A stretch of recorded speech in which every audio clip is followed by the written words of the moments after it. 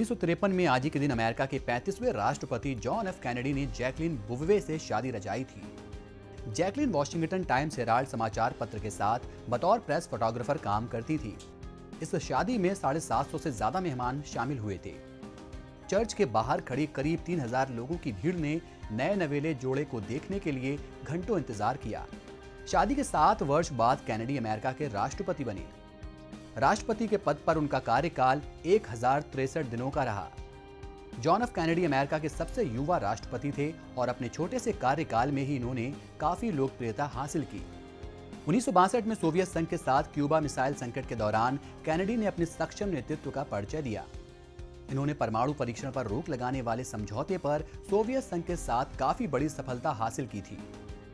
Kennedy ने ही सबसे पहले सपना दिखाया कि अमेरिका चाँद पर जाएगा, जिसके बाद अपने दृढ़ इरादों का सबूत देते हुए उन्नीस में नील आर्मस्ट्रांग चाँद पर पहुँचने वाले पहले इंसान बने। उन्नीस में आज के दिन सोवियत संघ ने चंद्रमा के लिए एक विशाल काय रॉकेट छोड़ा था। इस रॉकेट पर तीन सौ इक्यानवे किलोग्राम वैज्ञानिक उपकरण लादे गए थे।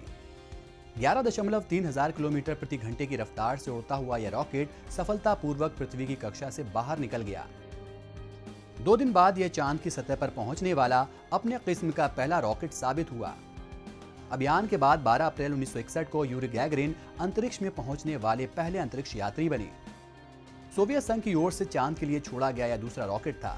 पहला रॉकेट 2 जनवरी को छोड़ा गया था, जो असफल रहा। उन्नीस सौ इकहत्तर में आज के दिन मशहूर संगीतकार जय किशन का निधन हुआ था। इनका पूरा नाम जय किशन दया भाई पंकल था।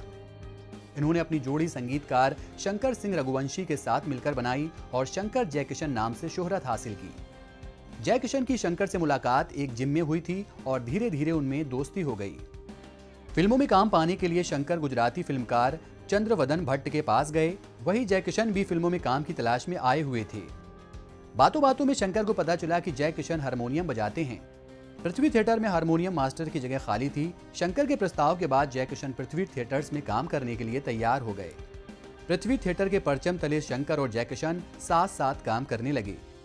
मेरी आँखों में बस गया कोई रे, जिया बेकरार है, छाई बहार है, मुझे किसी से प्यार हो गया, हवा में उड़ता जाए, मेरा लाल दुपट्टा मलमल का आदि, इस जोड़ी की बेहतरीन धुने हैं।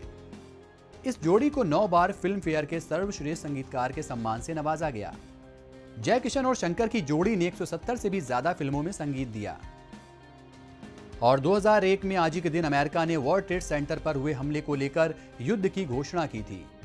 तत्कालीन राष्ट्रपति जॉर्ज बुश ने घोषणा की कि अमेरिका अपने देश की भूमि पर हुए हमले का बदला लेने के लिए अपनी पूरी ताकत झोंक देगा। साथ ही बुश ने देशवासियों से कहा कि यह लड़ाई लंबी चलेगी।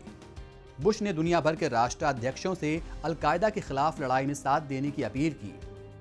दुनिया भर के नेताओं सहित उन देशों के नेताओं ने भी इस हमले की निंदा की, जो अमेरिका के विरोधी थे। इराक के तत्कालीन राष्ट्रपति सद्दाम हुसैन ने इस हमले को सही ठहराया और कहा कि यह हमला दुनिया में सभी तानाशाहों और शोषकों के लिए सबक है।